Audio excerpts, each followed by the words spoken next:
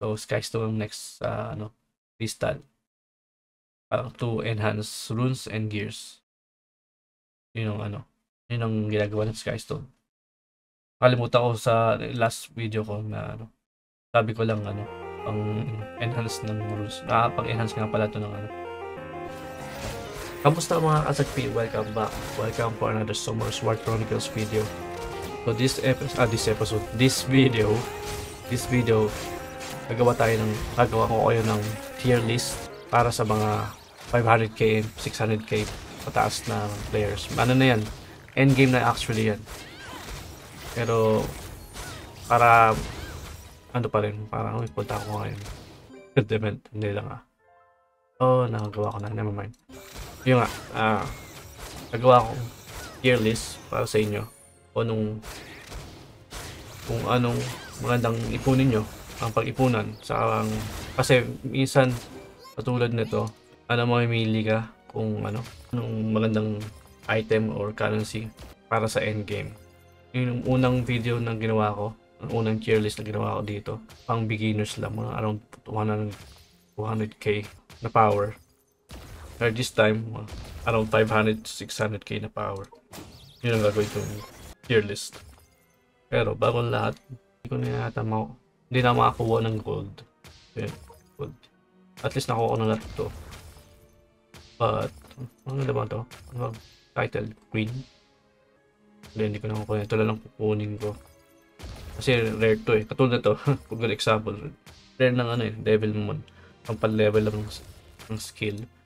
Kaya kung ako sa inyo, ipunin nyo yan. Huwag nyo basta-basta gagastusin kung hindi nyo rin ano. Yung pala dat dinagdag ko sa beginner's guide ko na ano, na item. Rare to, itong ipunin. Kasi ano, uh, kung sigurado na kayo sa monster na yun, na maganda, maganda para sa combo ng monster nyo. Saka nyo ano, saka nyo gamitin. Saka nyo pa-level up yung skills. Ako ganun ko ginagawa ko kasi. Uh, rare na to eh unless you you're willing to spend money.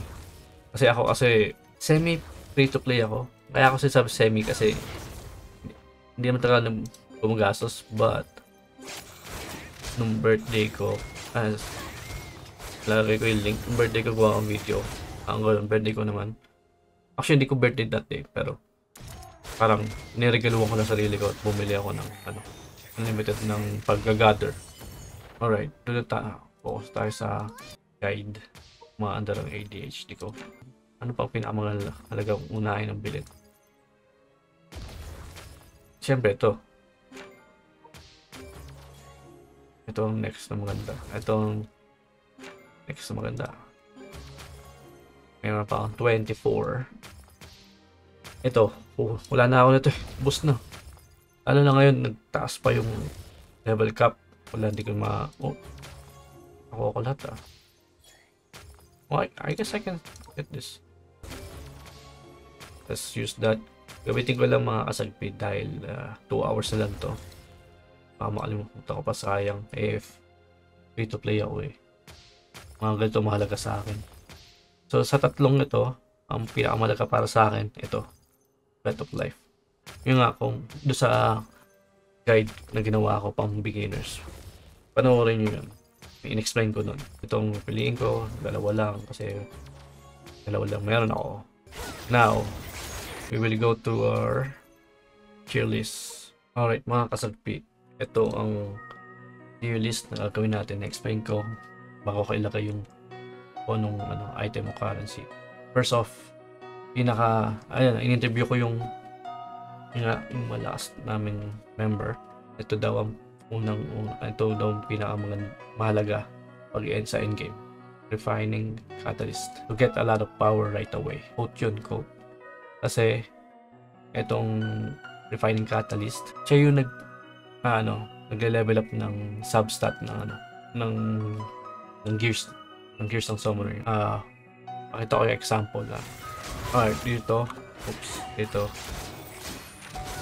enhance so refine kung gusto mong mag ano, kung gusto mong maging S to, kasi A na to eh. Tataas yan. Pag, pag ginamit mo to, apat, di ba? Apat lahat, yan, itong apat na to, nagle-level up yung tier niya. Maging S to, ito maging A. ito magiging C. Okay, ito maging B, ito maging C. C, C. Right. Importante yon kasi pag napa-S mo na lahat yan, wala, wala akong pani-S eh.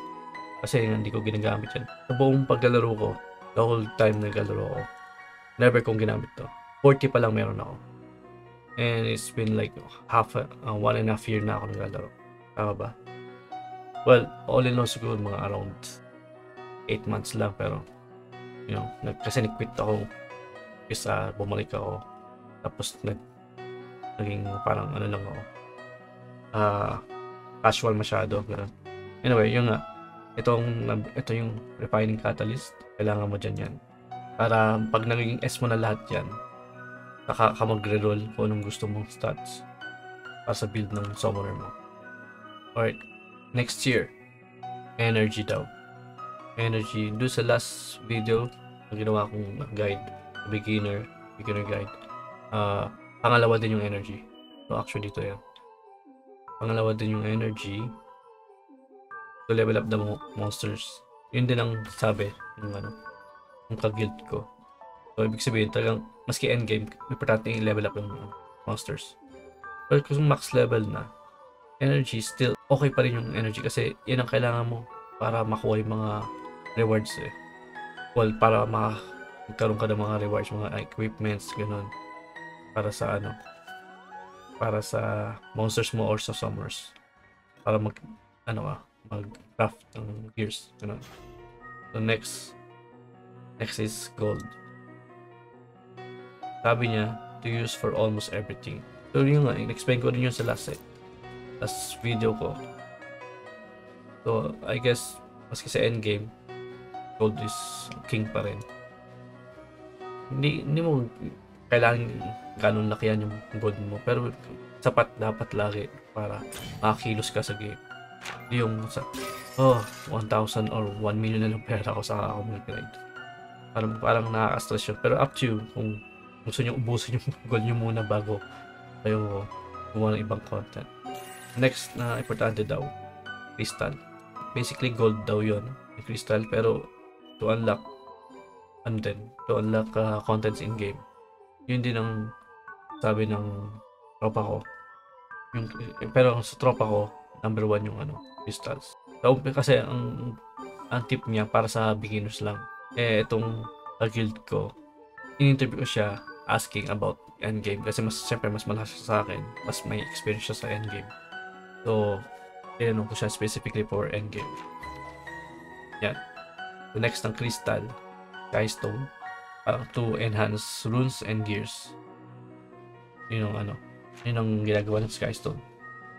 Kalimutan ko sa last video ko na sabi ko lang ano, ang enhance ng runes. Nakapag-enhance nga pala to ng ano, ng gears. So, kailangan mo talaga yan. Magastos sa ano, magastos yan para sa enhance ng gears. Anyway, ang next uh, Skystone is enhanced shard. So, enhanced shards for crafting. Kailangan mo yan para mag-craft ng uh, where is it? Oh. Ito para sa pag para, para sa ano yan? Sa refine. Para refine kang ganun. Para S na to para S na itong precision. Kaya nga, maghanap nga tayo ng may S.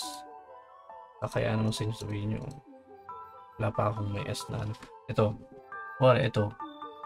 Eh gusto, gusto mo magre-roll, ayaw mo na itong accuracy attack precision.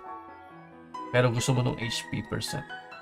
Na, la, ayaw, mo, ayaw mo na mawala yun. So, lalakdown mo yan.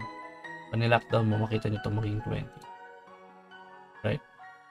So, pag gusto mo dalawa, i-lockdown nyo para hindi magre-roll, or attack so yun na yung attack ng ganyan attack down yung 80 na kaya maganda rin tong ano craft lang to gamit ang enhancement ano medyo rare to dahil di ang tingin ko dito lang nakuha to eh. nakukuha mo minsan minsan pero num number one resource dito galing yan alright yun lang mga kasagpi. Ah, sana at mayroon kayo natutunan sa ah, video na to. Kung wala, paki-comment na lang kung ano turuan nyo. Ako turuan nyo. Ah, paki-like na rin sa subscribe para lumaki yung community natin. Maraming maraming salamat. Hanggang sa muli.